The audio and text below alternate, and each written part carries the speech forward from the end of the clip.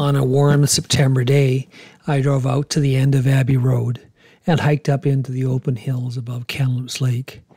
I had hiked the area a few times before, so on this day I chose to take an eclectic route, picking whichever way, way to go as I hiked along old tracks or going cross country, going up hills and ridges, across gullies, through grassland meadows, and out to investigate whatever caught my eye.